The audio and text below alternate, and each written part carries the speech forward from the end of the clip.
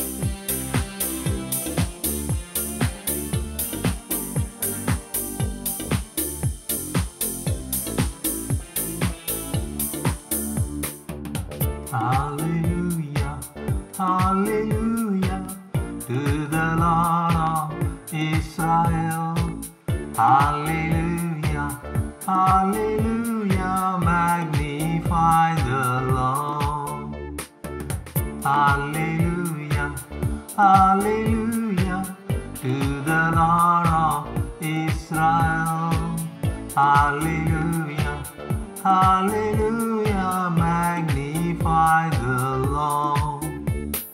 He has redeemed us, highly esteemed us. He has redeemed us by His blood. He was before us and shall restore us. Magnify the Lord. Hallelujah, hallelujah to the Lord of Israel. Hallelujah, hallelujah, magnify the Lord. He has redeemed us, highly esteemed us. He has redeemed us by His blood. He was before us, He shall restore us. Magnify the Lord. He has redeemed highly esteemed us. He has redeemed us by His blood. He was before us and shall restore us. Magnify the Lord. He has redeemed us, highly esteemed us. He has redeemed us by His blood. He works before us and shall restore us. Magnify the Lord.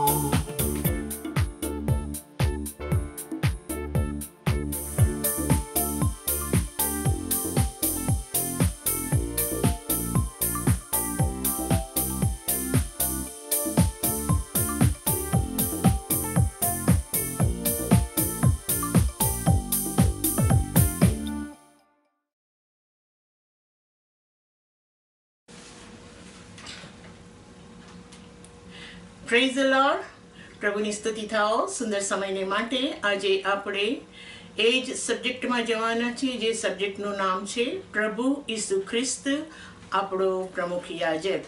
અને તેની અંદર આપણે બે point જે ગઈ વખતે જોયા હતા, એ જ બે પોઈન્ટને જોવાના છે. એમાંનો એક પોઈન્ટ એવો હતો કે ઈસુ તે જ ખ્રિસ્ત છે અને બીજો એક પોઈન્ટ એવો હતો કે હે- પત્ર પહેલો અધ્યાય નવ અને દસમી કલમમાં લખવામાં આવ્યું છે કે સર્વ સમયોનો ખ્રિસ્તમાં, હા, ખ્રિસ્તમાં સમાવેશ કરવામાં આવે.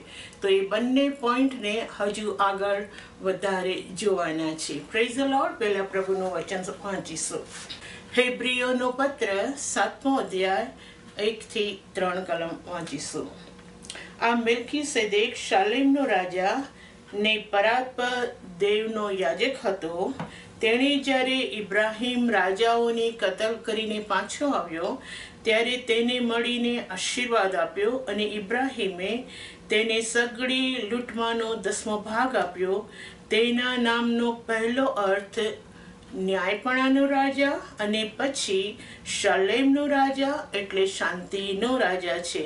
તે બાપ વગરનો, મા વગરનો, વંશાવળી વગરનો, તેના દહાડાનો આરંભ કે આયુષ્યનો અંત નથી. પણ તે દેવના પુત્ર જેવો છે અને તે સદા યાજક રહે છે. પ્રેઝ લો હવે અહીંયા ગાડી મલ્કીશદેકનું પ્રકટીકરણ એવું અદ્ભુત રીતે આપવામાં આવ્યું છે વચનમાં કે જાણે કે સ્વર્ગ આપણી સાથે બોલતું હોય અથવા તો આકાશમાંની રોટલી સીધી પવિત્ર આત્મા દ્વારા આપણને આપવામાં આવી હોય એવી રીતે મલ્કીશદેકનું પ્રકટીકરણ વચનની અંદર લખવામાં આવી, આવ્યું છે.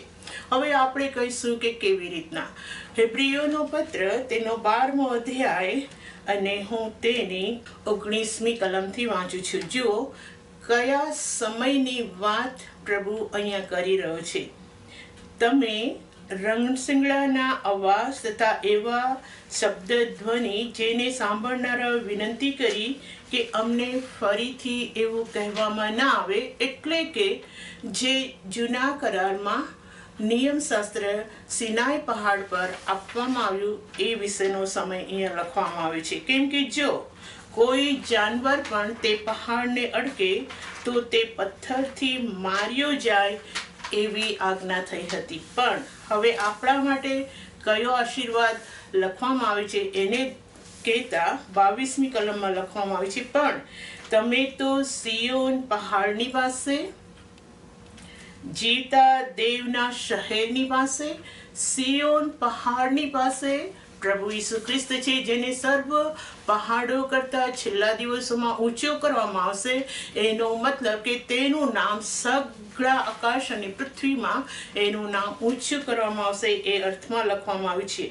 જીવતા દેવના શહેર પાસે એટલે કે નવા યરુશલેમ પાસે, એટલે સ્વર્ગીય યરુશાલેમ પાસે હજારો હજાર દૂતોની પાસે, એટલે કે તમે સ્વર્ગમાંના સમયની અંદર સ્વર્ગના દ્રશ્યમાં સ્વર્ગ પાસે છો એવી રીતના લખવામાં આવી છે આપણા માટે.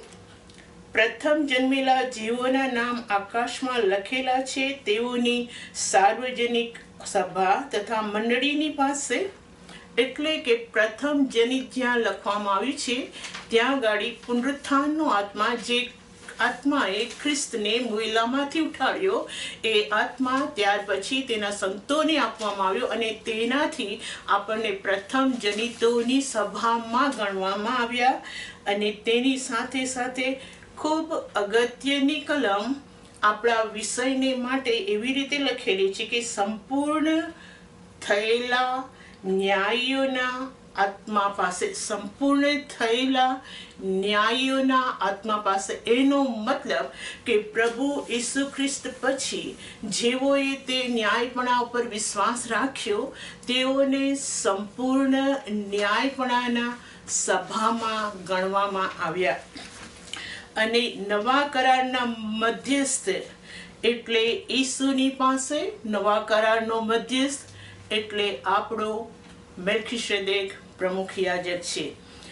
અને જેના છંટકાવનું રક્ત હાબેલ કરતા વધારે સારું બોલે છે, તેની પાસે આવ્યા છો.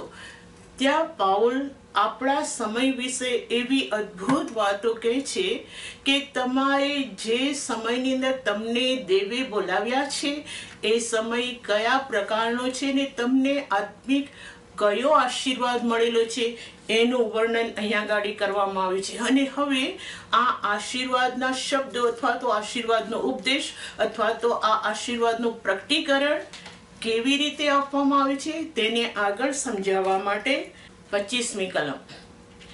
જે બોલે છે તેનો તમે અનાદર ન કરો, માટે સાવધ રહો, કેમ કે પૃથ્વી પર ચેતવનારાઓનો જેઓએ અનાદર કર્યો તેઓ બચ્યા નહીં, તો આકાશમાંથી ચેતવનારની પાસેથી જો આપણે ફરીથી તો ખસૂસ કરીને બચીશું નહીં. કહેવાનો મતલબ, બે ટાઈપનો દેવે વાત કરેલી છે, એવી રીતે પચીસમી કલમમાં લખવામાં આવી છે. ત્યાં એવું લખવામાં આવ્યું છે કે પૃથ્વી પર ચેતવનારાઓનો જેઓએ અનાદર કર્યો એટલે કે સર્વ સંતો પ્રભુ ઈસુ સુધી જેટલા સંતો એ દેવને વિશે બોલ્યા, તેઓ પૃથ્વીમાંથી એટલે કે માણસોમાંથી ઉત્પન્ન થયેલા હતા અને તેઓએ દેવ વિશે ઉપદેશ આપ્યો. દેવ વિશે તેઓએ તેઓને ચેતવ્યા અને જેઓએ તે ચેતવણીનો માન્યું નહીં, તેઓ નુહના સમયમાં, સદોમ ગમોરાના સમયમાં નાશ પામ્યા એવી રીતે લખવામાં આવ્યું છે. પણ તમને કોણે ચેતવ્યા છે? આપણને કોણે ચેતવ્યા છે? એને ફરીથી બીજા શબ્દમાં લખે છે. આકાશમાંથી ચેતવનારની પાસેથી, એટલે કે આકાશમાંથી કોણ આવ્યો? પ્રભુ ઈસુ ખ્રિસ્ત પોતે આકાશમાંથી આવ્યો અને તેણે આપણને ચેતવ્યા કહેવાનો મતલબ કે જે આકાશમાંથી પ્રભુ ઈસુ ખ્રિસ્ત પોતે આવીને પ્રભુ ઈસુ ખ્રિસ્ત વિશેનું પ્રકટીકરણ તેણે પોતાના મોંથી પ્રગટ કર્યું. એની એ જ વાત હેબ્રીઓનો પત્ર પહેલો અધ્યાય અને હું તેની પહેલી અને બીજી કલમ વાંચું છું. પ્રાચીન કાળમાં પ્રબોધકો દ્વારા પૂર્વજોની સાથે દેવ અનેક પ્રકારે બોલ્યો. ફરીથી પાઉલ હેબ્રીઓનો પત્ર પહેલો અધ્યાય પહેલી કલમમાં ચેતવીને કહે છે, ઘડી અને ઘડી કહે છે કે પ્રાચીન સમયમાં પ્રબોધકો દ્વારા સંતો દ્વારા તે હંમેશા બોલ્યો. પણ બીજી કલમમાં છેલ્લા સમયમાં પુત્ર કે જેણે સઘળાનો વારસ ઠરાવ્યો અને જેના વડે જગતો ઉત્પન્ન કર્યા, જેનાથી જગત ઉત્પન્ન થયું, તેના દ્વારા આપણી સાથે બોલ્યો અને કોણ હતો?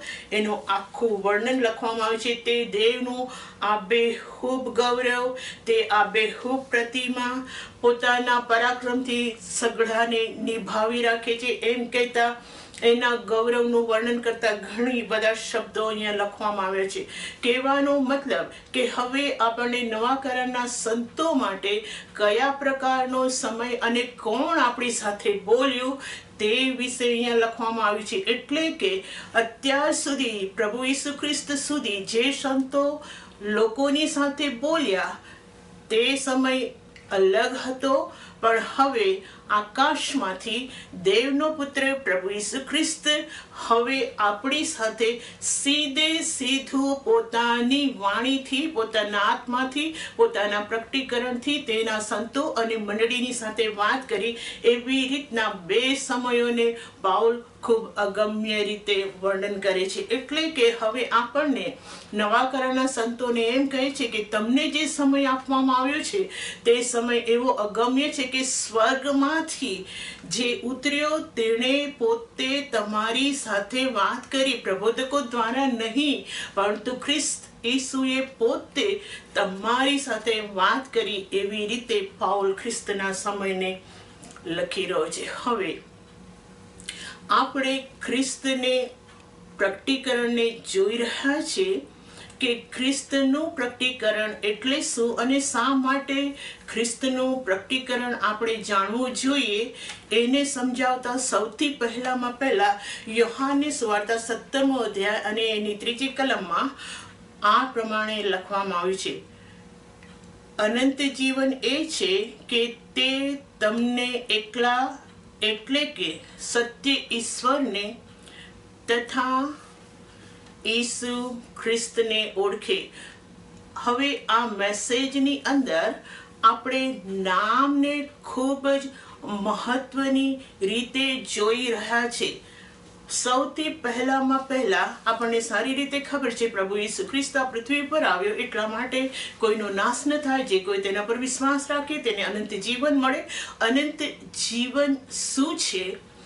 જેઓએ તેના ઉપર વિશ્વાસ કર્યો, તેઓને અનંત જીવન કેવી રીતે મળશે? તેના વિશે સ્પષ્ટ યોહાનની વાર્તા સત્તરમો અધ્યાયની ત્રીજી કલમમાં લખવામાં આવી છે કે તે તને એકલાને એટલે કે સત્ય દેવને તથા પ્રભુ ઈસુ ખ્રિસ્તને ઓળખે. ખ્રિસ્તને ઓળખે એ સૌથી મોટામાં મોટું દેવ બાપની ઈચ્છા નવા કરારના સંતો માટે છે. હવે આપણે કહીશું કે ખ્રિસ્ત એ નવા કરારનો શબ્દ છે. ખ્રિસ્ત પ્રભુ ઈસુના આયા પછી ખ્રિસ્ત વિશે આપણે જાણીએ છીએ, પણ ખ્રિસ્ત નવા કરારના સમયથી નથી. કારણ કે પહેલો પિતર પહેલો અધ્યાય અને એની વીસમી કલમમાં લખવામાં આવ્યું છે, તે તો, એટલે કે ખ્રિસ્ત વિશે, તે તો જગતના મંડાણ અગાઉ નિર્માણ થયેલો હતો ખરો. જગતના મંડાણની અગાઉ ખ્રિસ્ત હતો એવી રીતે વચનમાં, પિત્તરમાં લખવામાં આવ્યું છે. એની એ જ બાબત પાઉલ એફએસીમાં લખે છે. એની એ જ બાબત કોલોસીમાં લખે છે. પણ ફક્ત સમજવા માટે આપણે આ એક રેફરન્સને વાંચી રહ્યા છે અને તે એ છે કે તે જગતના મંડાણની અગાઉ હતો ખરો. પણ હમણાં છેલ્લા કાળમાં કોને માટે પ્રગટ થયો છે? તમારે સારું પ્રગટ થયો છે. તમારે સારું છેલ્લા કાળમાં ખ્રિસ્ત પ્રગટ થયો છે. અને પછી એફએસીની અંદર લખવામાં આવે છે કે એ જગતના મંડાણ અગાઉ હતો ખરો, પરંતુ અત્યાર સુધી કોઈના જાણવામાં આવ્યો ન હતો. પરંતુ છેલ્લા સમયમાં તેના સંતોને એ ખ્રિસ્તનું પ્રકટીકરણ મળે એવી દેવ બાપે ઈચ્છા રાખી. તેથી જ કરીને ઉત્પત્તિનો પહેલો અધ્યાય અને પહેલી કલમથી ખ્રિસ્તની શરૂઆત થાય છે. ઉત્પત્તિનો પહેલો અધ્યાય અને તેની ત્રીજી કલમમાં જ્યારે આપણે વાંચીએ છીએ, ત્યારે એવું લખવામાં આવ્યું છે, અને દેવે કહ્યું, અજવાળું ઠાવો કહ્યું શબ્દ જે છે તે ખ્રિસ્ત પોતે છે. કારણ કે હેબ્રિયોનો પત્ર તેનો અગિયારમો અધ્યાય અને ત્રીજી કલમની અંદર લખવામાં આવ્યું છે કે દેવના શબ્દથી જગતો ઉત્પન્ન થયા.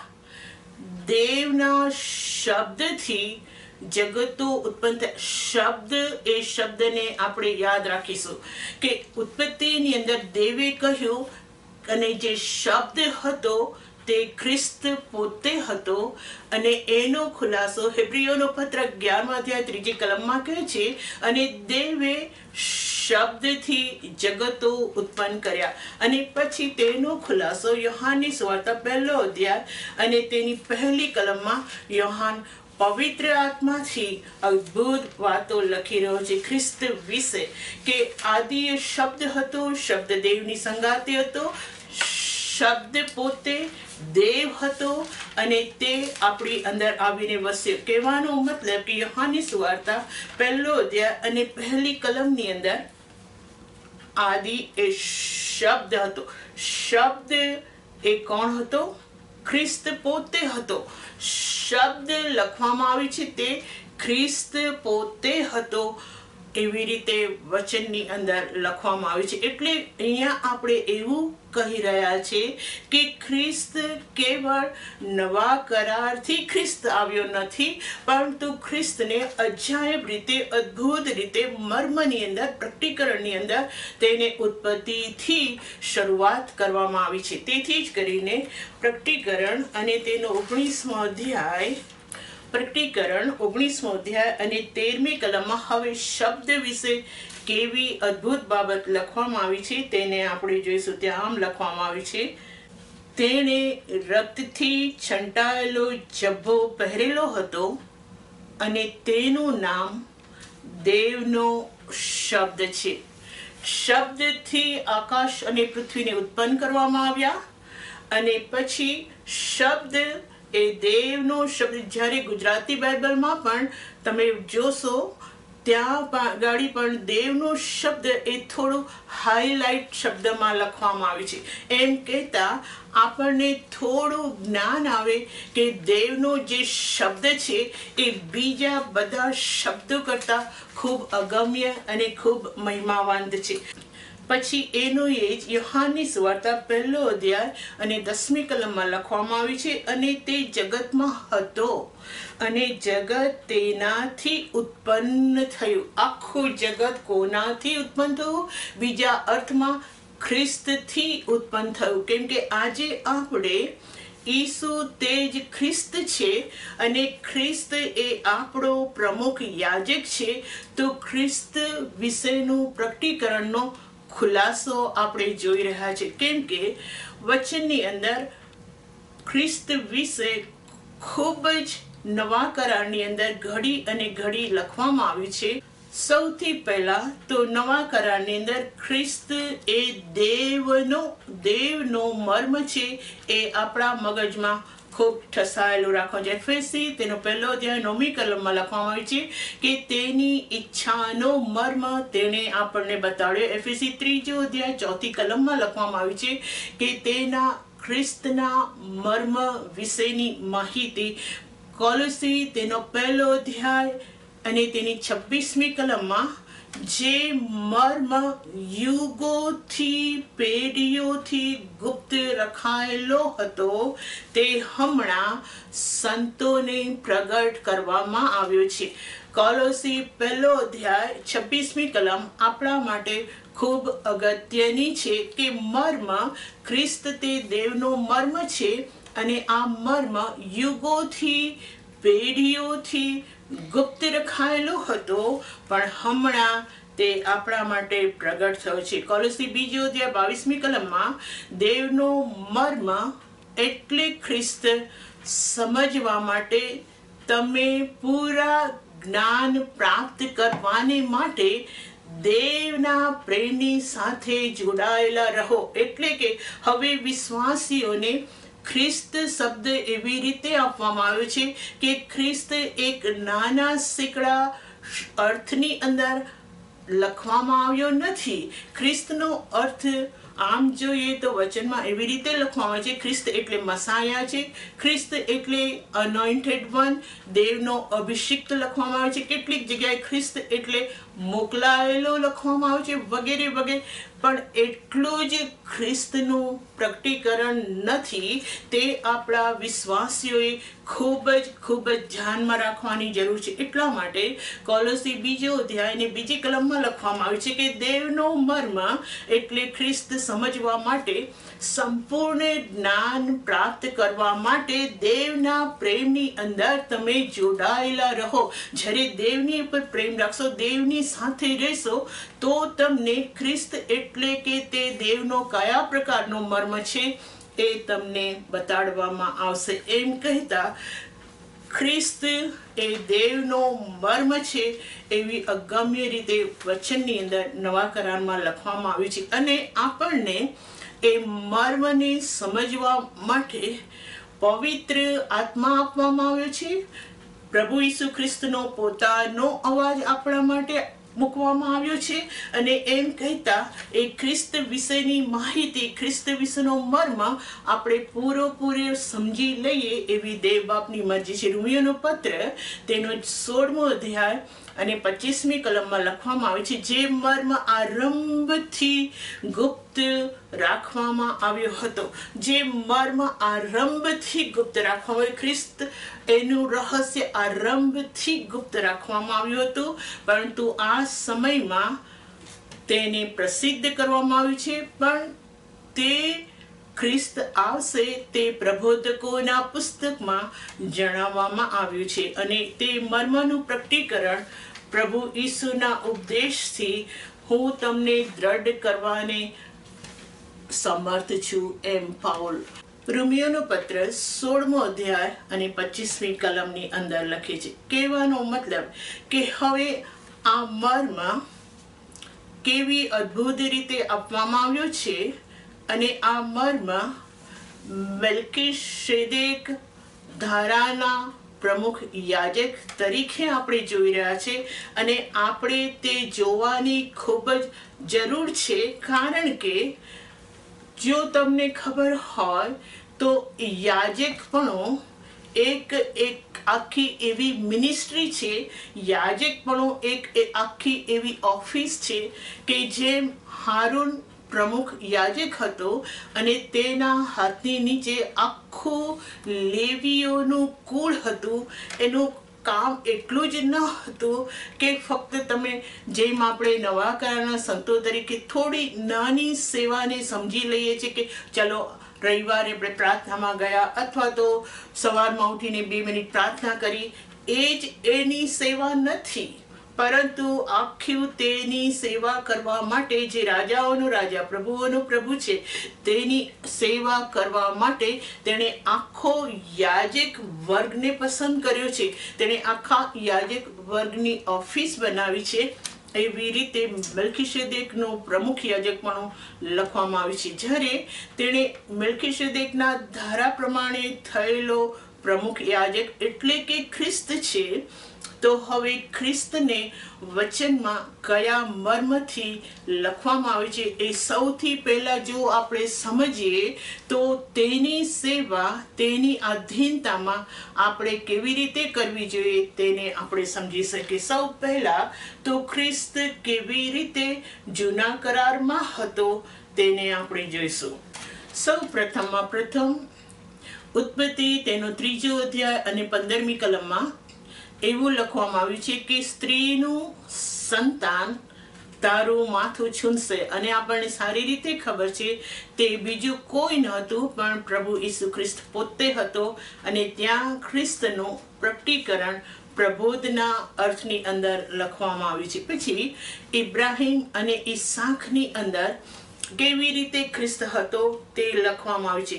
ઇબ્રાહિમ અને ઈસાકની અંદર જાળીમાં ફસાયેલો જે ઘેટો હતો તે પ્રભુ ઈસુ ખ્રિસ્ત પોતે હતો. કેમ કે ઇબ્રાહીમે ઈસાક એકના એક દીકરાનું બલિદાન ન આપ્યું, પરંતુ દેવે પોતાના એકના એક દીકરાનું બલિદાન આપણા પાપો માટે પૃથ્વી પર મોકલી આપ્યું. તે ફક્ત છાયા હતી ઇબ્રાહિમ અને ઈસાક એ દ્રષ્ટાંત હતું. ઇબ્રાહીમ અને ઈસાક એક ઉપમા હતી, પણ વાસ્તવિકતા એ હતી કે ખ્રિસ્ત આપણા પાપોને માટે બલિદાન થશે અને તે જાડીમાં ફસાયેલો ઘેટા તરીકે લખવામાં આવે છે. જાડીમાં ફસાયેલો એટલે કે લોકોએ તેને ફસાવ્યો અને આપણા પાપોના માટે તેને બલિદાન આપવામાં આવ્યું એવી રીતે લખવામાં આવ્યું છે. પછી નિર્ગમનમાં આપણે જોઈએ તો પાસખા પર્વના યજ્ઞ તરીકે પ્રભુ ઈસુ ખ્રિસ્તને લખવામાં આવે છે. કેમ કે એનો એ જ ખુલાસો કરંથીમાં કરતા પાઉલ કહે છે કે પ્રભુ ઈસુ ખ્રિસ્ત આપણા પાસખાનું હલવાન છે. ગણનાની અંદર તે પ્રથમ જનિતોની ગણતરીમાં સૌથી પ્રથમ જનિત છે એવી રીતે લખવામાં આવ્યું છે. કેમ કે લખવામાં આવ્યું છે ત્યારે તે તેઓને ગણશે. પરંતુ સર્વમાં પ્રથમ જનિત પ્રભુ ઈસુ ખ્રિસ્ત પોતે છે એવી રીતે ગણનાની અંદર લખવામાં આવ્યું છે કે પ્રથમ જનિત પ્રભુ ઈસુ ખ્રિસ્ત પોતે છે. પૂર્ણ નિયમની અંદર જે મૂસા કહે છે, મારા જેવો બીજો પ્રબોધક તમારામાં ઊભો થશે. તમારે તેનું સાંભળવું અને ત્યાં આગળ ખ્રિસ્તનું પ્રકટીકરણ. ખ્રિસ્ત પોતે મૂસા લખી રહ્યો છે અને ઘણી ઘણી કલમોમાં ખ્રિસ્ત વિશેનું વચન લખવામાં આવ્યું છે, પણ આપણે થોડું, થોડો સારાંશ પૂરતું આપણે એક એક બુકમાંથી જોઈ રહ્યા છે. ન્યાયાધીશ, ન્યાયાધીશની અંદર આપણે જોઈએ તો ન્યાયાધીશોની અંદર દેવે લોકોનો ન્યાય કરવા માટે ન્યાયાધીશો આપ્યા, પરંતુ ન્યાયાધીશોની અંદર પણ લખવામાં આવ્યું છે કે તેઓમાંના કોઈ સંપૂર્ણ ન હતા, પણ ન્યાયાધીશ તરીકે હવે વાસ્તવિક રીતે જોઈએ તો આપણો પ્રભુ ઈસુ ખ્રિસ્ત સર્વમાં સર્વ ન્યાય ન્યાયાધીશ છે એવી રીતે વચનમાં લખવામાં આવ્યું છે. સમુએલની અંદર સમુએલથી માંડીને કાળ વૃત્તાંત સુધી જે બધા પુસ્તકો લખવામાં આવે છે, ત્યાં ઈસુ ખ્રિસ્ત રાજાઓનો રાજા અને પ્રભુઓનો પ્રભુ છે, એવી રીતે એનું ભવિષ્ય વચન લખવામાં આવ્યું છે. કેમ કે તે એકલો જ રાજાઓનો, રાજા પ્રભુઓનો પ્રભુ છે. એસ્તરના પુસ્તકની અંદર પ્રભુ ઈસુ ખ્રિસ્ત લોઢાના દંડથી વિદેશીઓ પર રાજ કરશે એવી રીતે લખવામાં આવ્યું છે. જે દિવસે હાશ્વેરુષ રાજાનું ફરમાન મોર્દખાઈના હાથમાં આવ્યું, તે દિવસે વિદેશીઓને મારવામાં આવ્યા અને તે છે લોઢાના દંડથી પ્રભુ ઈસુ ખ્રિસ્ત વિદેશીઓ ઉપર રાજ કરશે એ અર્થમાં લખવામાં આવ્યું છે ગીત. ગીત શાસ્ત્રમાં હલવાનું નવું ગીત તરીકે લખાવું છે. ગીત શાસ્ત્ર એટલા માટે લખવામાં આવ્યું છે કે આપણે પૂરા હૃદયથી, પોતાના પૂરા જીવથી, સામર્થ્યથી દેવનું ગીતથી ભજન કરીએ અને પ્રકટીકરણમાં લખવામાં આવ્યું છે કે તેઓ હલવાનનું નવું ગીત ગાશે. નીતિ વચનની અંદર જ્ઞાન વિશે લખવામાં આવ્યું છે અને જ્ઞાન કોણ છે? એકલો પ્રભુ ઈસુ ખ્રિસ્ત પોતે જ છે. સભા શિક્ષકની અંદર એવી રીતે લખવામાં આવ્યું સગળું વ્યર્થતાની વ્યર્થ સગળું વ્યર્થ છે. અને પ્રભુ ઈસુ ખ્રિસ્ત ત્યાં આગળ એવી રીતે દેખાય છે કે એ વિનાશીપણામાં અવિનાશીપણો અને અવિનાશીપણાનું બીજ એટલે કે પ્રભુ ઈસુ ખ્રિસ્ત પોતે છે અને તે આપણને મળ્યો કે આપણે વિનાશી જીવનમાં, વ્યર્થ જીવનમાં વાસ્તવિકતા અને ખરું જીવન મેળવી શકીએ. પછી ગીતોના ગીતની અંદર પ્રભુ ઈસુ ખ્રિસ્તને એની માએ પહેરાવેલો મુંગટ એટલે કે પ્રભુ ઈસુ ખ્રિસ્ત પોતે વરરાજા છે, એનું ફાઇનલ મંડળીનો શેરપતિ છે, એવી રીતે ગીતોને ગીતની અંદર પ્રભુ ઈસુ ખ્રિસ્તનું વર્ણન કરવામાં આવ્યું છે. પછી પ્રબોધકોના દરેક પુસ્તકમાં પ્રભુ ઈસુ ખ્રિસ્ત દેવના શબ્દ તરીકે વર્ણન કરવામાં આવ્યું છે. કેવી રીતે તે કુમારીની દ્વારા આવશે, શું પ્રભુ ઈસુ ખ્રિસ્ત કોણ હશે તે બધું પ્રબોધકોના પુસ્તકોની અંદર લખવામાં આવ્યું. પ્રભુ ઈસુ ખ્રિસ્તનો સમય કેવો હશે તે પ્રબોધકોના પુસ્તકોમાં લખવામાં આવ્યું અને ફાઇનલી નવા કરારની અંદર એ જ શબ્દ સદેહ થઈને આપણામાં વસ્યો. જે પ્રમાણે જૂના કરારમાં ખ્રિસ્ત વિશે શબ્દો લખવામાં આવ્યા હતા. એક્ઝેક્ટલી એવી જ રીતના ખ્રિસ્ત નવા કરારમાં દેહને ધારણ કરીને આવ્યો.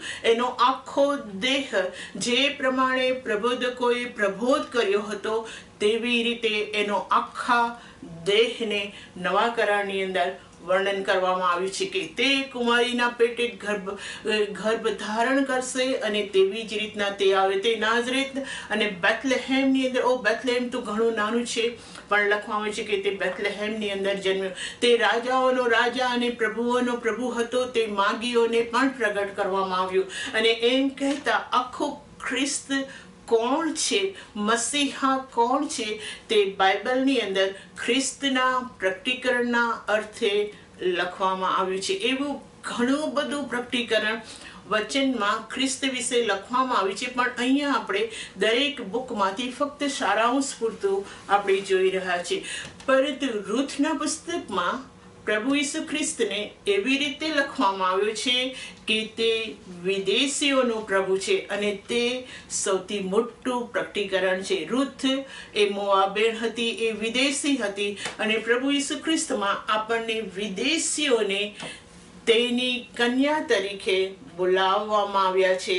એ ખૂબ અદ્ભુત છે. કેમ કે એફએસએની અંદર ન કેવળ પાઉલ ખ્રિસ્ત દેવનો મર્મ છે એવી રીતે મર્મને કહી રહ્યો નથી પણ તેની સાથે સાથે તે એમ પણ કહી રહ્યો છે કે વિદેશીઓ ખ્રિસ્તમાં તારણ પામશે એ મર્મ ઘણા વર્ષોથી, પેઢીઓથી, સમયોથી ગુપ્ત રાખવામાં આવ્યો હતો.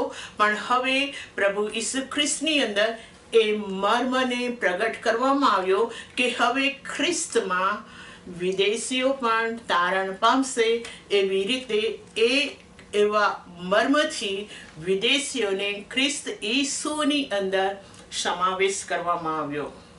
હવે, જે બધું ખ્રિસ્ત વિશેનું પ્રકટીકરણનું સારાંશ અત્યાર સુધી આપણે જોઈ ગયા, તે બધા જે પ્રકટીકરણમાં સૌથી અગત્યનું ખ્રિસ્તનું પ્રકટીકરણ એ છે કે તે મનુષ્ય દેહમાં માણસ થઈને, મનુષ્ય પુત્ર થઈને આપણા માટે આ પૃથ્વી પર આવ્યો. સૌથી મોટામાં મોટો પ્રકટીકરણનો ખુલાસો એ છે કે આ બધું ખ્રિસ્ત એવી રીતના, અદ્ભુત રીતના વચનની અંદર લખવામાં આવ્યું છે, પણ તેનું સૌથી મોટામાં મોટું પર- પ્રકટીકરણ એ છે કે પ્રભુ ઈસુ ખ્રિસ્ત મનુષ્ય દેહ થઈ થઈને આ પૃથ્વી ઉપર આવ્યો. તેથી કરીને આપણે કેટલીક કલમો વાંચી લઈશું કે ત્યાં વચન આપણને શું કહે છે? પ્રભુ ઈસુ ખ્રિસ્ત મનુષ્ય દેહમાં આવ્યો અને મનુષ્ય પુત્ર કહેવામાં આવ્યો. એનો મતલબ શું થાય છે? સૌથી પહેલા પ્રકટીકરણ તેનો પહેલો અધ્યાય અને તેરમી કલામાં વાંચીશું. હવે અહીંયા યોહાનને પ્રભુ ઈસુ ખ્રિસ્ત વિશેનું પ્રકટીકરણ તેને બતાડવામાં આવ્યું છે કે પ્રભુ ઈસુ ખ્રિસ્ત કોણ છે એ વિશે આખું પ્રકટીકરણ પ્રભુ ઈસુ ખ્રિસ્ત વિશેનું પ્રકટીકરણ છે. કેમ કે પ્રકટીકરણ પહેલો અધ્યાય પહેલી કલમમાં લખવામાં છે, ઈસુ ખ્રિસ્તનું પ્રકટીકરણ એટલે જે બનાવો ટૂંક સમયમાં બનવાના છે તેનું પ્રકટીકરણ.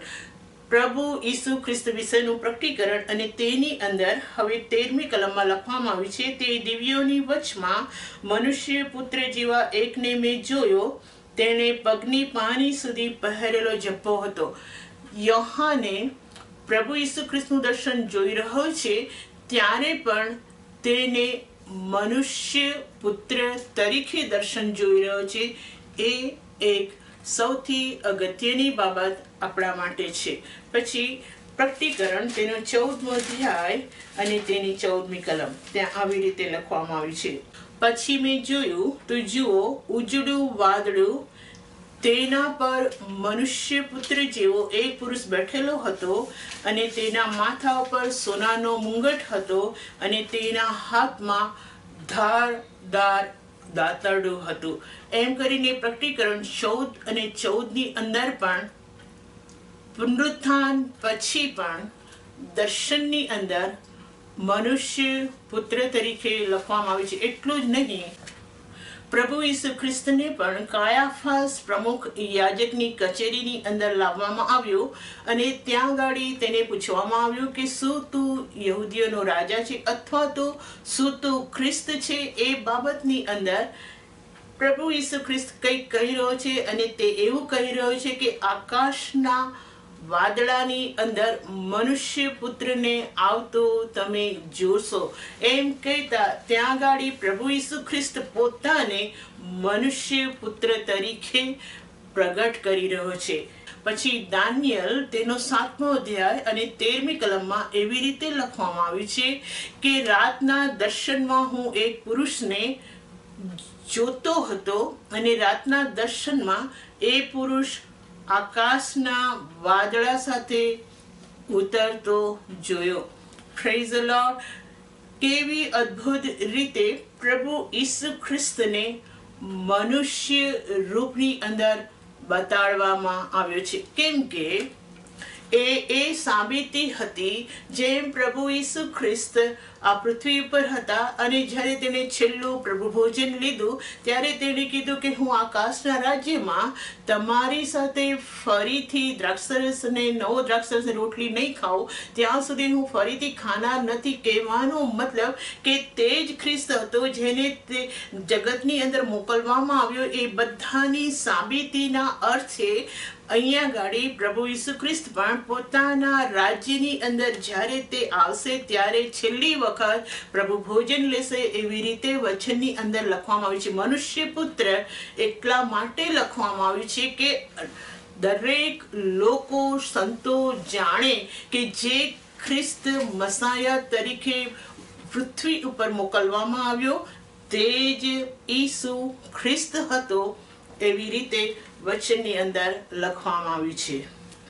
હવે, અત્યાર સુધી આપણે ખ્રિસ્તનું પ્રકટીકરણ ખૂબ અગમ્ય છે. એમાંનો કોઈક કોઈક સારાંશ આપણે જરૂર જોયો. પરંતુ ઈસુ નામ કેવી રીતના હવે આપણને નવા કરારના સંતોને આપવામાં આવ્યું છે, તેના વિશે આપણે જોઈશું. સૌ પ્રથમ પ્રથમ ફિલિપી, તેનો બીજો અધ્યાય અને નવ અને દસ કલમ વાંચીશું.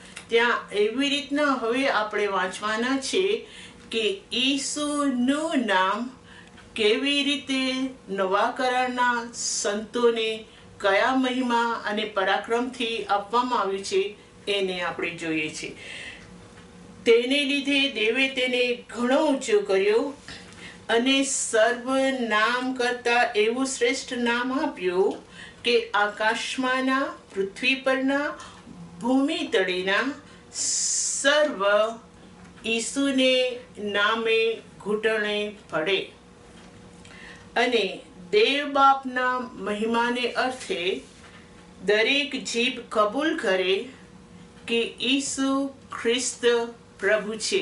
હવે આ વચનની અંદર ઈસુ ના નામથી આકાશ પાતાળ સગળા સર્વ લોકો ઈસુના નામે ઘૂંટણે પડે અને બીજો એક શબ્દ લખવામાં આવ્યો છે કે દેવને મહિમા આપવો હોય અથવા તો દેવને પ્રાર્થના કરવી હોય તો તે હરેક જીભ કબૂલ કરે કે પ્રભુ ઈસુ ખ્રિસ્ત પ્રભુ છે.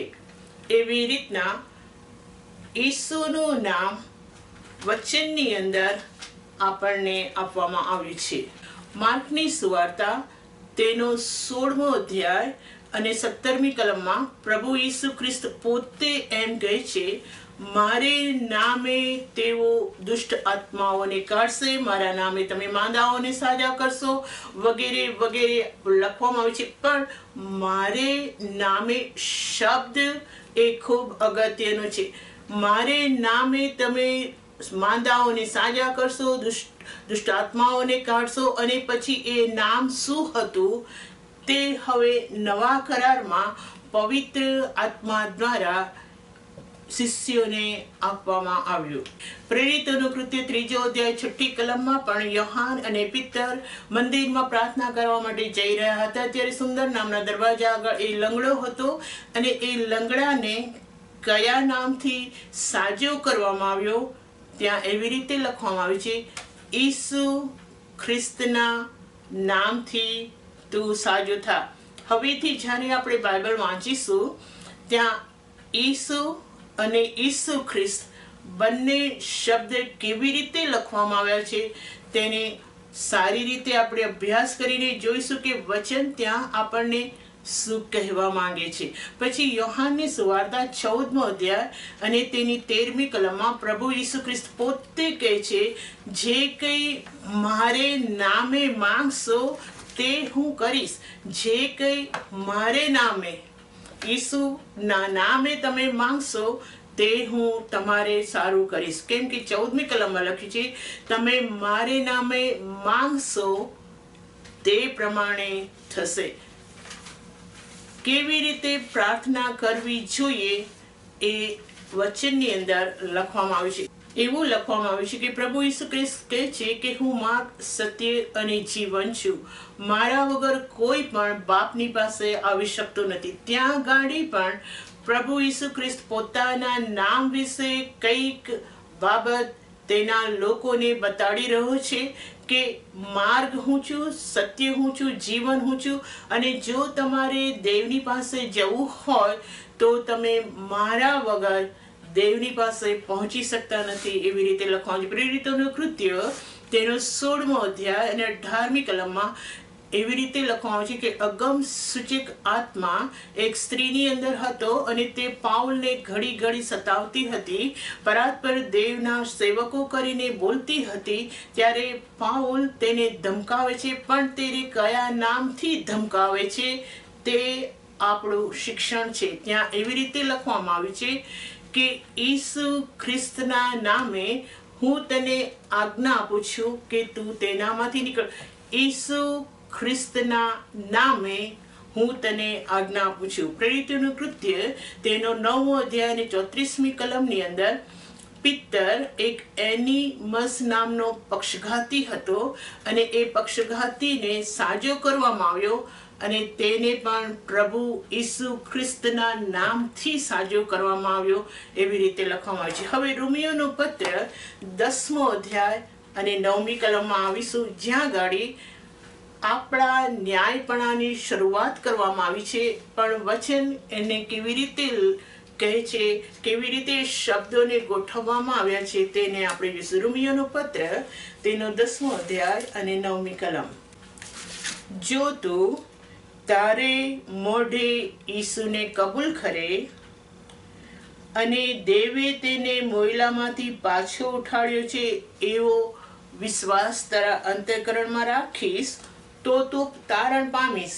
કેમ કે ન્યાયપણાને અર્થે આપણે ન્યાયપણાને શીખી રહ્યા છીએ અને ન્યાયપણાનો પ્રમુખ યાજક મલ્કીસદેક પ્રભુ ઈસુ ખ્રિસ્ત છે અને અહીંયા ગાડી રૂમિયોનો પત્ર દસમો અધ્યાય નવમી કલમમાં ન્યાયપણાની શરૂઆતના અર્થમાં કલમ લખવામાં આવી છે. કેમ કે વચન સારી રીતે કહે છે, જો કોઈ માણસ નવો જન્મ પામ્યું ન હોય તો તે દેવના રાજ્યને મેળવી શકતું નથી. જો કોઈ આત્માથી અને પાણીથી જન્મ્યું ન હોય તો તેમાં પ્રવેશ કરી શકતું નથી. એમ કરીને એક નવા જન્મની શરૂઆત વિશે પ્રભુ ઈસુ ખ્રિસ્ત કહી રહ્યા છે. પણ નવો જન્મ કેવી રીતે થાય છે એનો ખુલાસો પવિત્ર આત્મા દ્વારા રૂમિયોનો પત્ર દસમા અધ્યાય અને નવ અને દસમી કલમની અંદર લખવામાં આવ્યું છે કે જ્યારે તું પ્રભુ ઈસુને કબૂલ કરીશ અને તારા અંતઃકરણમાં ન્યાયપણાને અર્થે વિશ્વાસ રાખીશ, ન્યાયપણો વિશ્વાસ દ્વારા આવે છે એ અર્થમાં લખવામાં આવ્યું છે. અને તારણને અર્થે મોંથી કબૂલાત કરવામાં આવે છે. કેમ કે અહીંયા ગાડી ન્યાયપણાની શરૂઆતમાં કે હવે તમે દેવના યાજકો થશો એની બોલાવટમાં સૌથી પહેલામાં પહેલા પ્રભુ ઈસુ ખ્રિસ્તને કબૂલ કરવામાં આવે એવી રીતે ન્યાયપણાની શરૂઆત વચનની અંદર લખવામાં આવી છે. હવે આપણે બીજો એક પોઈન્ટને જોવાના છે અને જે પોઈન્ટ એ છે કે એફએસીઓનો પત્ર પહેલો અધ્યાય નવ અને દસ કલમ. એમાં એ પોઈન્ટ જોઈ રહ્યા છે આપણે કે તેણે તેનામાં પોતાના સંકલ્પથી પોતાની પ્રસન્નતા પ્રમાણે પોતાની ઈચ્છાનો મર્મ આપણને જણાવ્યો કે સમયોની સંપૂર્ણતાની વ્યવસ્થામાં.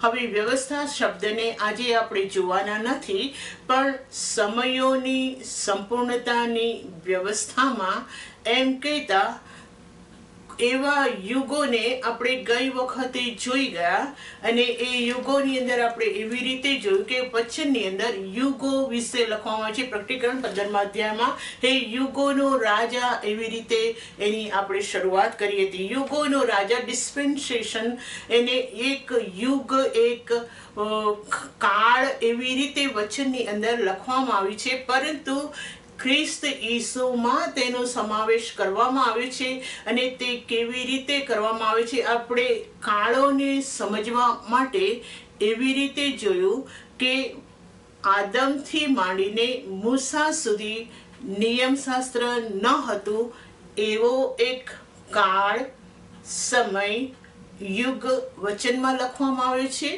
બીજો એક સમય એવો લખવામાં આવે છે મુસાથી માંડીને પ્રભુ ઈસુ ખ્રિસ્ત સુધીનો એક સમય, એક યુગ લખવામાં આવે છે અને તેને નિયમશાસ્ત્રનો યુગ લખવામાં આવ્યો છે. પછી ત્રીજો એક યુગ લખવામાં આવે છે, યહાનની સ્વાર્તા પહેલો અધ્યાય અને સત્તરમી કલમમાં બંને યુગોને લખવામાં આવ્યા છે કે નિયમશાસ્ત્ર મૂસા દ્વારા આવ્યું. પણ કૃપા અને સત્યતા પ્રભુ ઈસુ ખ્રિસ્ત દ્વારા આવી. એમ કહેતા ત્યાં બંને કુળોને લખવામાં આવે છે. બંને કાળોને લખવામાં આવ્યા છે અને એ કાળો એવી રીતે લખવામાં આવે છે કે એક નિયમશાસ્ત્રનો કાળ હતો, નિયમશાસ્ત્રનો યુગ હતો અને બીજો એક યુગ હતો કૃપા અને સત્યતાનો એટલે કે પ્રભુ ઈસુ ખ્રિસ્તનો. હવે યુગો અને કાળો વિશે આપણે જોઈએ તો બીજા યુગ અને કાળ પણ છે. દાખલા તરીકે પ્રકટીકરણની અંદર દેવનું રાજ્ય પૃથ્વી ઉપર આવશે, ત્યારે તે સંપૂર્ણ દેવના રાજ્યનો સમય હશે.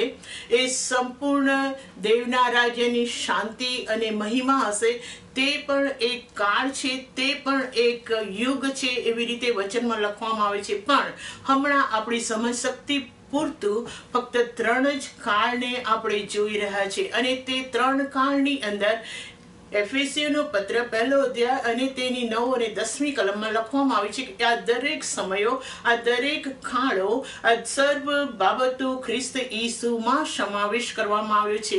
અને તેથી કરીને આદમથી માંડીને છેક મુસા સુધી આપણે એક દ્રષ્ટાંત લીધું હતું અને તે દ્રષ્ટાંત એવું હતું કે ગલાતી તેનો ત્રીજો અધ્યાય અને તેની સત્તરમી કલમ. ત્યાં આવી રીતે લખવામાં આવી છે, હવે હું આ કહું છું કે જે કરાર દેવે અગાઉથી મુકરર કરેલો હતો, તેને ચારસો ત્રીસ વર્ષ પછી થયેલો નિયમ રદ કરીને પોતાનું વચન વૃથા કરી શકતો નથી. એમ કહેતા ચારસો અને ત્રીસ વર્ષ એવો એક સમયનું આપણે ફક્ત દ્રષ્ટાંત લીધું હતું.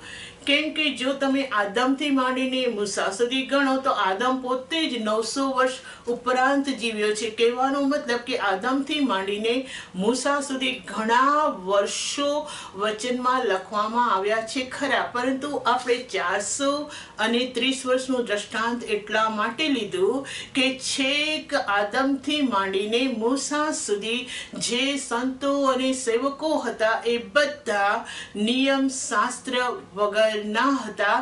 તેઓની સાથે દેવ બોલ્યો અને એ પેઢીની અંદર પણ એ આખી પેઢીનો, એ આખા આખા કાળનો, એ આખા યુગનો ખ્રિસ્ત ઈસુમાં સમાવેશ કરવામાં આવ્યો. ચારસો ત્રીસ વર્ષ એવી રીતે ગણવામાં આવ્યા કે જ્યારે યાકૂબ અને એનું કુટુંબ, જે સિત્તેર માણસો, મિસર દેશની અંદર ગયા અને ત્યાર પછી નિર્ગમનમાં લખવામાં આવ્યું છે કે ચારસો અને ત્રીસ વર્ષ પૂરા થયા તે જ રાતે દેવનું આખું સૈન્ય મિસર દેશમાંથી નીકળ્યું. હવે આ બધા સમયો એવી અદ્ભુત રીતે વચનની અંદર લખવામાં આવ્યા છે કે જો આ સમયોને આપણે સમજી ન લઈએ, આ સમયોને આપણે સમજતા ન હોઈએ તો એટલું મોટું આપણું આત્મિક નુકસાન થઈ શકે છે, જે નુકસાન અત્યારના ઇસરાયલીઓને થઈ રહ્યું છે. કેમ કે તેઓના વિશે આપણે એક એક્ઝામ્પલ જોઈશું કે જ્યારે ઇસરાયલ લોકો દેવનો સમય, દેવનો યુગ, દેવની બાબતો સમજી ન શક્યા, ત્યારે એમની દશા શું થઈ? તેને એક એક્ઝામ્પલ તરીકે આપણે જોઈશું. જખારિયા તેનો બારમો અધ્યાય અને હું તેની દસમી કલમથી વાંચું છું. હું દાઉદના વંશજો પર તથા યરુશલેમના રહેવાસીઓ ઉપર કૃપા તથા વિનંતીનો આત્મા રેડીશ અને મને જેઓએ તેને વિંધ્યું છે તેની તરફ તેઓ જોશે અને જેમ કોઈ પોતાના એકના એક પુત્રને માટે શોક કરે, તેમ તેઓ શોક કરશે. અને જેમ કોઈ પોતાના જ્યેષ્ઠ પુત્રને માટે દુઃખી થાય, તેમ તેઓ તેને લીધે દુઃખી થશે. જો સુદશા થઈ જ્યારે તેઓ એક આખો યુગ, એટલે કે પ્રભુ ઈસુ કૃષ્ણ કૃપા અને સત્યતાથી આવેલો યુગ ઇસરાયલીઓ સમજી શક્યા નહીં. ઇસરાયલીઓએ તેનો નકાર કર્યો. ઇસરાયલીઓએ તેની તરફ પોતાની નજર રાખી નહીં. તેઓ એ સમયને સમજી શક્યા નહીં. ત્યારે એમની દશા શું થઈ? એ સમય, એ યુગને સમજી નહીં શકવાને કારણે એવી દશા થઈ કે તેઓ એવી રીતના વિલાપ કરશે, તે લોકો એવી રીતે રડશે કે જાણે કે પોતાના એકના એક છોકરા માટે રડતા હોય એવી રીતે તેઓ રડશે. કેમ કે લુકની સ્વાર્તામાં પ્રભુ ઈસુ ખ્રિસ્ત એમ કહે છે, ઓ યરુશાલેમ યરુશાલેમ, તારી શાંતિને લગતા વાના જો તે જાણ્યા હોત તો કેવું સારું. એ સમયને તે ઓળખી ગયો હોત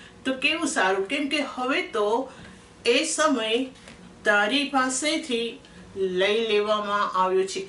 છેક છેલ્લા સમય સુધી દેવ બાપે ઇસરાયલ લોકોને ચેતવ્યા જેમ હિબ્રીઓનો પત્ર બારમા અધ્યાયમાં હમણાં આપણે વાંચી ગયા કે તે ચેતવણીને ઘડી અને ઘડી તેના સંતોને, લોકોને તેણે ચેતવ્યા પ્રબોધકો દ્વારા, રાજાઓ દ્વારા ઉત્પત્તિથી માંડીને તેણે તેના લોકોને ચેતવ્યા કે ખ્રિસ્ત કોણ છે? ખ્રિસ્ત એવો હશે કે જેની અંદર જે ન્યાયપણાની તમને ઈચ્છા છે, જે ન્યાયપણા દ્વારા તમે દેવની પાસે આવી શકો છો, જે ન્યાયપણા દ્વારા દેવ તમારી પ્રાર્થના સાંભળી શકે છે, જે ન્યાયપણા દ્વારા તમે અગમ્ય જીવન જીવી શકો છો, એ ન્યાયપણાને તેઓ સમજી શક્યા નહીં અને તેના માટે એવું બન્યું કે આખો એક યુગ તેઓની પાસેથી સંતાયેલો રહ્યો. અને તેઓની પાસેથી સંતાયેલો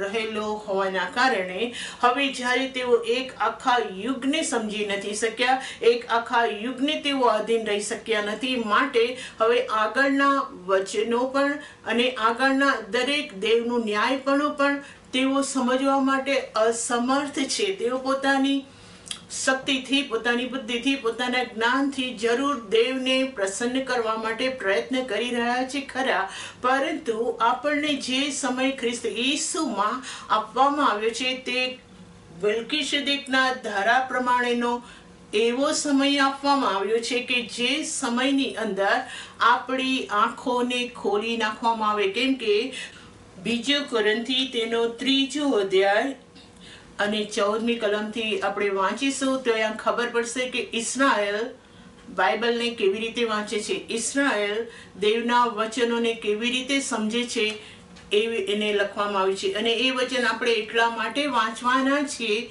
આપણે પોતાને મૂકીને પણ જોઈશું કે આપણી અને દેવની વચમાં આવો કોઈ ઘૂંઘટ છે કે નહીં.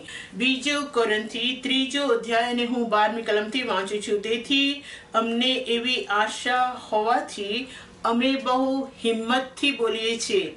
અને મૂસાની પેઠે નહીં કે જેણે ઇસરાયલ પુત્રોનો ટળી જનાર મહિમાનો અંત નિહાળે નહીં માટે પોતાનો મુખ પર મુખપટ નાખ્યો. પણ તેઓના મન કઠણ થયા એટલે કે ઇસરાયલ લોકોના. તેઓના મન કઠણ થયા કેમ કે છેક આજ સુધી જૂનો કરાર વાંચતી વખતે તે જ મુખપટ કાઢ્યા વગર તેઓમાં એમને એમ રહે છે. એટલે કે જે મૂસાને દેવે પોતાનું પ્રકટીકરણ આપ્યું અને તેનું મુખ ટોટલ પ્રકાશિત થયું, જેમ એ પ્રકાશને ઇસરાયલ લોક જોઈ ન શક્યા અને મૂસાને ઘૂંઘટ નાખવો પડ્યો, એ જ ઘૂંઘટનું દ્રષ્ટાંત લઈને હવે પાઉલ કહે છે કે આજ દિવસ સુધી તેઓ એ મહિમાવાન, જ્ઞાન અને તેજનો પ્રકાશ જુએ નહીં. માટે આજ દિવસ સુધી તે મુખપટ તેઓના મોં પર છે. પણ આજ સુધી જ્યારે મુસાનો પુસ્તક વાંચવામાં આવે છે, ત્યારે તેઓના હૃદય પટ પર મુખપટ હોય છે. તેઓના હૃદયો બીજા અર્થમાં કહીએ તો કઠણ છે. બીજા શબ્દમાં કહીએ તો તેઓના હૃદયો હઠીલા છે. ભલે તેઓ મુસાનું પુસ્તક વાંચતા, ત્યાં ગાડી ઘડી અને ઘડી ખ્રિસ્ત વિશેનું ભવિષ્યવચન થયેલા હોવા છતાં પણ તેઓના હૃદય ઉપર મુખપટ છે અને તેઓ સીધે સીધું વચનમાં શું લખવામાં આવ્યું છે તે તેઓ જાણી શકતા નથી. પણ જ્યારે તે લોકો પ્રભુ બની ફરશે, ત્યારે તે મુખપટ દૂર કરવામાં આવશે. હવે પ્રભુ તે આત્મા છે અને પ્રભુનો જ્યાં આત્મા છે, ત્યાં સ્વતંત્રતા છે પણ આપણા માટે.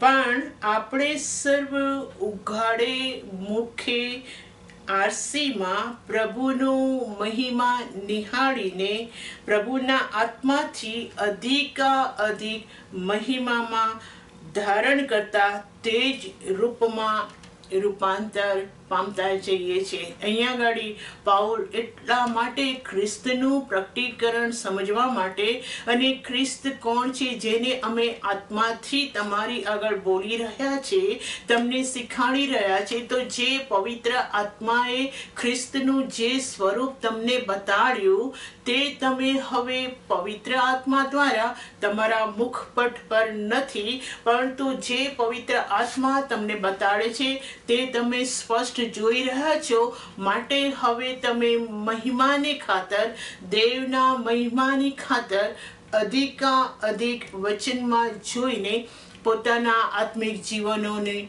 રૂપાંતર પામતા જાઓ. કેમ કે ન્યાયપણું એ હંમેશા એક સ્તરથી બીજા સ્તરમાં પહોંચે એ રીતે વચનની અંદર લખવામાં આવ્યું છે. જેમ ગઈ વખતે આપણે જોઈ ગયા હતા કે પ્રેરિતોના કૃત્યમાં ન્યાયપણા વિશે પ્રભુ ઈસુ ખ્રિસ્ત વિશે એટલું જ લખવામાં આવ્યું છે કે ઈસુ તે જ ખ્રિસ્ત છે. પછી પ્રેરિતોના કૃત્ય છોડ્યા પછી જ્યારે તમે એફએસી રૂમી હેબ્રીઓનો પત્ર, કોલોસીની અંદર વગેરે વગેરે જ્યારે આવો છો, ત્યાં ગાડી ઈસુ તે માણસ અને તે જ ખ્રિસ્ત છે એવું પ્રકટીકરણ પાઉલ આપી રહ્યો નથી. પછી એવો એક મહિમાનું પ્રકટીકરણ, ખ્રિસ્ત વિશેના એવા મહિમાનું પ્રકટીકરણ શીખાડી રહ્યો છે કે તે ખૂબ અદ્ભુત છે. એટલે કે ન્યાયપણું વચનની અંદર શરૂઆત લખવામાં આવી છે. જે શરૂઆત પસ્તાવો અને બાપ્તિસ્મા દ્વારા થાય છે.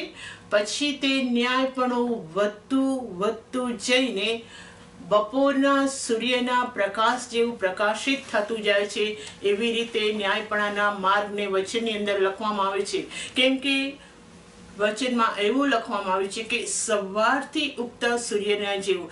એટલે કે ફેબ્રિયોનો પત્ર પાંચમા અધ્યાયમાં પાઉલ મિલ્કીસેદેકને સમજાવવા માટે સૌથી પહેલામાં પહેલા એ એમ કહે છે કે, મને મિલ્કીસેદેક વિશેનું પ્રકટીકરણ ઘણું પ્રગટ થયું છે.